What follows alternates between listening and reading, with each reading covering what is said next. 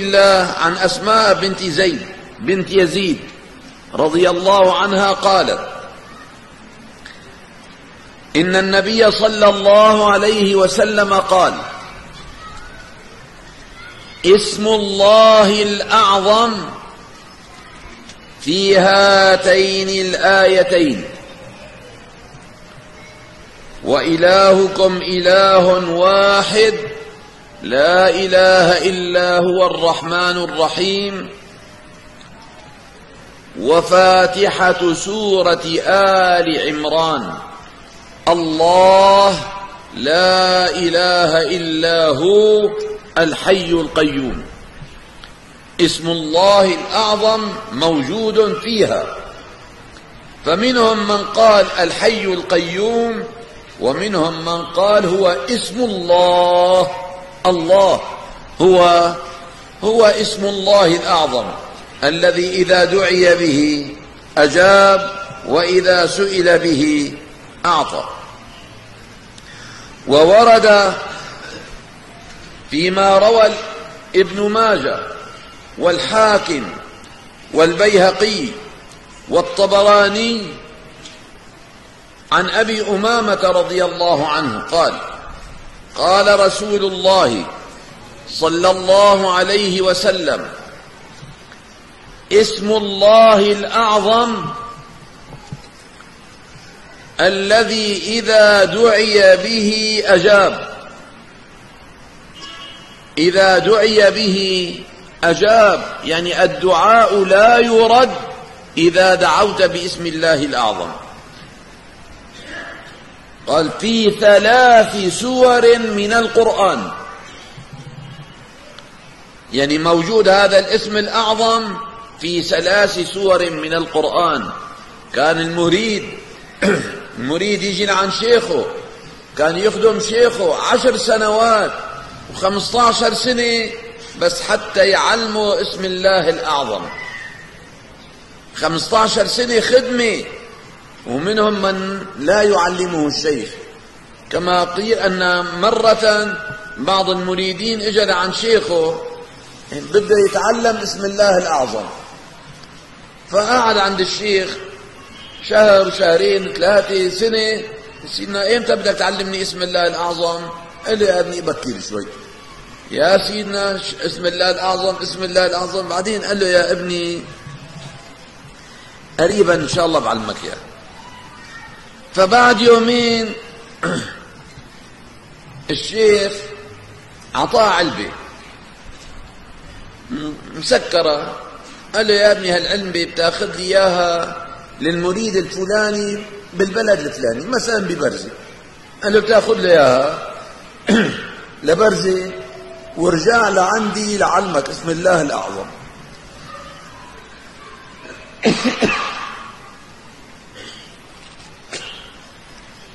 المريد العلبة ورايح مشي إلى برزة بالطريق حس بالعلبة خرخشة الشيخ شو باعي؟ افتحها؟ ما افتحها؟ إيه شو باعت الشيخ فيها؟ قاعد شو فيها بشوف شو فيها وبسكرها فتح العلبة ليشوف شو فيها وز فيها فارة نطت الفارة. ركض ورا الفارة ما حصل يحصلها. راحت الشيخ عم يستهزئ فيه ضحك باعت فارة على كل باخذ له العلبة مثل ما هي. راح لعند المريد. قال له الشيخ بعت لك العلبة المريد فتح العلبة لا العلبة فاضية. قال له الشيخ ما بيبعت علبة فاضية. بعت لي فيها هدية. وين الهدية؟ قال له هيك بعت قال له الشيخ ما بيبعتها هيك. رجع له العلبة. قال له لك الشيخ بتعرف شو بعت لك لك الشيخ بعت لك فارة.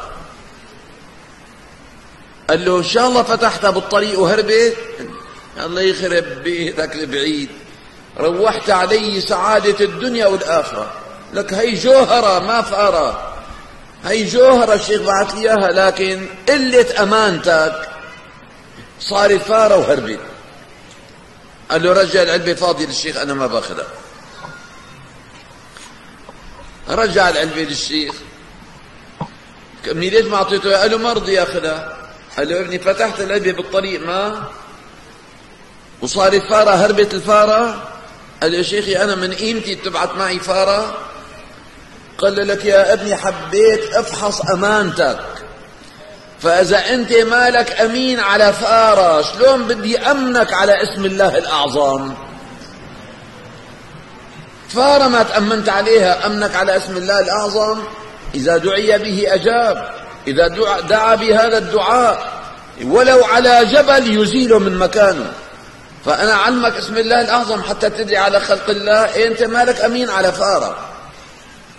فكانوا يخدموا الشيوخ حتى يتعلموا اسم الله. فالنبي عم يعلمكم اسم الله الأعظم. فيقول اسم الله الأعظم.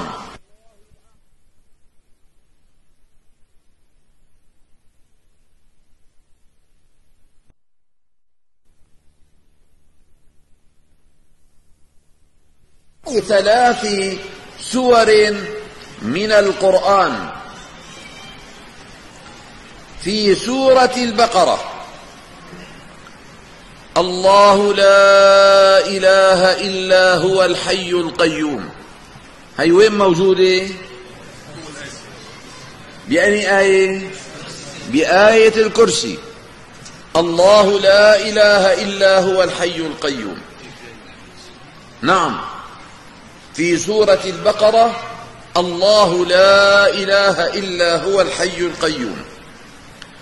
وفي آل عمران ألف لام ميم.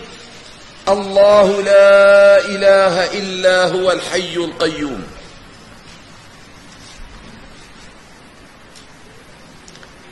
وفي طه وعنت الوجوه للحي القيوم.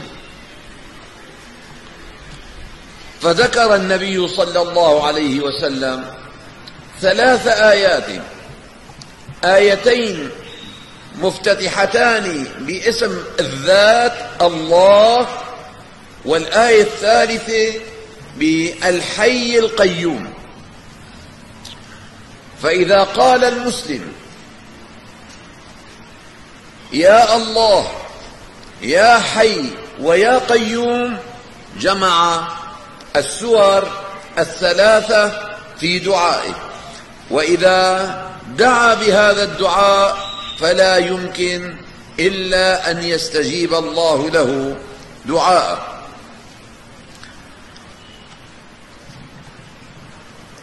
النبي عليه الصلاة والسلام روى الإمام أحمد رضي الله عنه عن أنس رضي الله عنه قال كنت جالسا مع رسول الله صلى الله عليه وسلم في الحلقة. درس يعني. حلقة درس النبي قاعد فيها. ورجل قائم يصلي. النبي عامل درس وهذا الرجال واقف عم يصلي تحية المسجد أو فريضة. فلما ركع وسجد جلس وتشهد. قرأ التحيات لله إلى آخرها. ثم دعا بآخر التشهد فقال اللهم إني أسألك اللهم إني أسألك بأن لك الحمد لا إله إلا أنت. الحنان المنان. بديع السماوات والأرض. ذا الجلال والإكرام.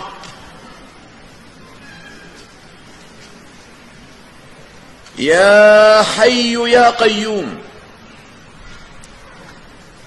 إني أسألك. وطلب فقال رسول الله صلى الله عليه وسلم أتدرون بما دعا؟